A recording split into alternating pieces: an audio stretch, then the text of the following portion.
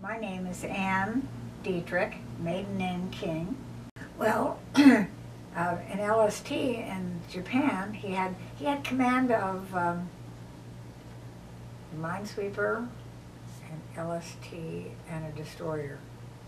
And the LST was home ported in Japan. That was early on when ships were home ported. Oh, the LST was the um, Whitfield County. That ship was it was a, a new experience for a naval officer who spends his career at sea trying not to run aground. But with that ship, you had to learn to drive it up on the beach, and so that was always a little hard for my husband. uh, now they do it; it's very common uh, process, but.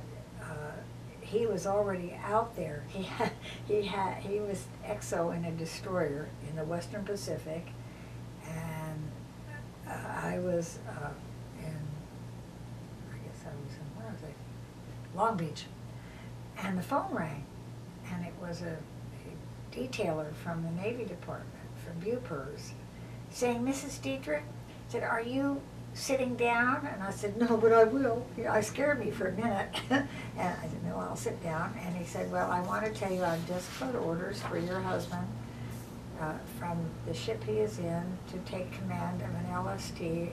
It's home ported in the Western Pacific, home ported in Japan. So, and that was unusual for a detailer to call an independent a wife. They didn't. They may do it now, but they certainly didn't then, usually. But that was nice of you.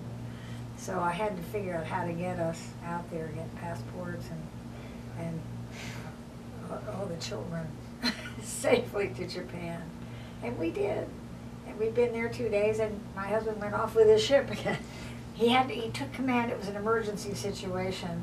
The uh, commanding officer had uh, Kanto Plains asthma, which was a scary kind of thing from the bad air there, and it wasn't uncommon and they had lost a Navy wife. So if anybody developed that, they were sent home. So he took over that ship. Oh, well, at the first, we had two tours there. And the first tour was, uh, I mean, it was all fun and wonderful, but, not always easy. And uh, uh, the quarters were not wonderful. They were oh, jerry built by the Army right after World War II. And, uh, but we had lots of help. because I had, I, I, you know, one day I sat in my living room on this funny old furniture. You couldn't take your own furniture. You took small things, but.